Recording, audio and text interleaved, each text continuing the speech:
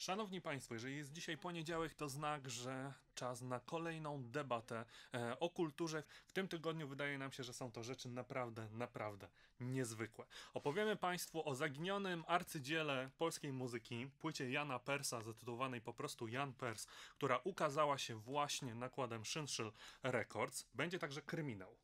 E, I to będzie kowadełko Stanisława Sądeckiego. Rzeczy niezwykła, bo opowiada, opowiadająca o zbrodni, która dzieje się na wioskowej dyskotece. W książce mamy niesamowity obraz małej, prowincjonalnej wsi, charakterystyki bohaterów, dużo humoru, dużo nieoczekiwanych momentów. Książka, która wydaje mi się, że będzie bestsellerem w tym roku. E, Natomiast jeżeli chodzi o film, będzie to film e, naprawdę niezwykły, czterogodzinny film science fiction rodem z Grenlandii. E, Tytuł filmu to Biały prawie śnieg, a jego reżyserem jest debiutant Nanook Sigurdsson E, i rzeczywiście no jest to film, który wbił nas w fotel kinowy, gdy go oglądaliśmy.